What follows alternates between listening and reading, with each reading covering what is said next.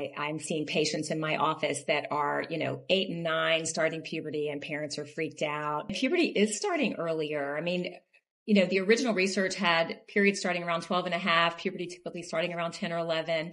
We now have more modern research that shows that the start of puberty is really backing up about three months every decade. Everybody wants to know why, and it's complicated. There's a lot of things that are contributing. So everything from uh, pollution and endocrine disruptors, chemicals in the atmosphere and the, the, everything that we expose ourselves to every day to nutrition.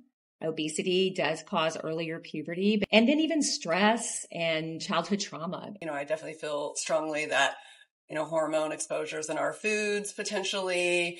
Um, but like you said, also obesity and, you know, fat is an endocrine organ that makes estrogen that affects us. So, and, and, why is that happening? It's just all these cultural, you know, and environmental factors that are, that are playing a role.